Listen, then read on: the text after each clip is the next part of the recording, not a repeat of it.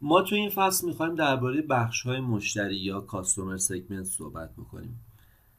همونطور که توی فصل قبل گفتیم به نقل از مایکل پورتر شرکت نمی‌تونه به همه مشتری ها همه ارزش ها رو ارائه بده. در نتیجه باید انتخاب بکنه که کدوم بخش از بازار رو می‌خواد هدف قرار بده و اون رو مشتری های اون بخش رو جذب بکنه بخش بندی مشتری رو ما دلیل اینکه انجام میدیم اینی که مشتری ها با هم متفاوتن. نیازهای متفاوت با هم دارن. دسترسیشون به کانال ها متفاوته. سوداوری متفاوت دارن و الی آخر.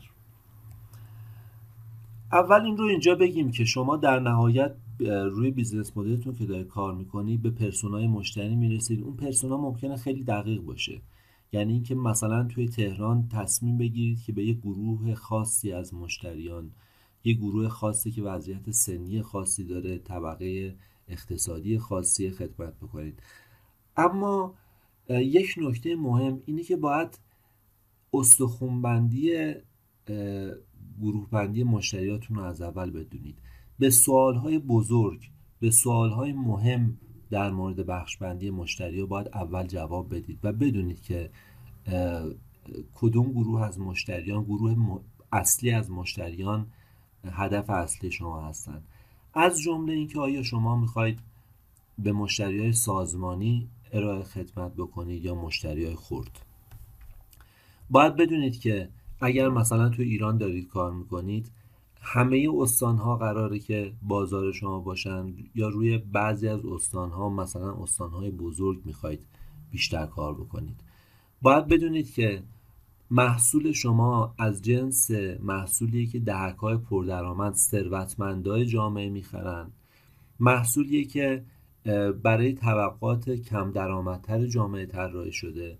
یا نه همه دهک های درآمدی ممکنه که مشتری محصول شما باشن. آیا همه در واقع مشتری های پذیرای فناوری جوون ها رو که به خصوص با فناوری راحت ترن می‌خواید جذب بکنید؟ یا نه مشتری های کم اطلاعاتر از تکنولوژی هم هدف شما هستن؟ اینجا بگم که خیلی از مشتری هستن که مثلا گوشه هوشمندم دارن. ولی کار کردن باهاش براشون خیلی راحت نیست. در شما باید تصمیم بگیرید که آیا قراره که این مشتری مشتری هدف شما باشه یا خیر. ما توی این فصل درباره چند تا موضوع صحبت می‌کنیم. چیزی که در ویدیوهای آینده خواهید دید. از جمله درباره جغرافیا صحبت می‌کنیم. و به خصوص درباره ایران. اینکه ایده هر استان یک شعبه برای شرکت های بیمه ایده خوبیه یا نه؟ و اشکال این ایده چیه؟ درباره چرخه زندگی آدما صحبت می‌کنیم. چون آدما تو چرخه زندگیشون نیازهای متفاوتی دارن. شما وقتی 20 ساله هستید از نظر بیمه ای نیازتون متفاوته با زمانی که مثلا وارد دوره بازنشستگیتون میشید.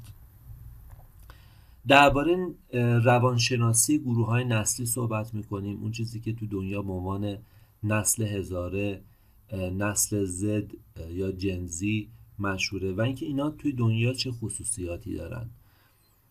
و درباره گروه اجتماعی صحبت می‌کنیم. اینکه فقط قراره که به پولدارها و جوانها و کم ریسکا بیمه بفروشیم یا نه میشه مشتر... گروه مشتریانمون رو طوری تعریف بکنیم که پر ریسکا توش باشن فقیرها توش باشن. اینها موضوعاتی که در این فصل با هم مرور خواهیم کرد.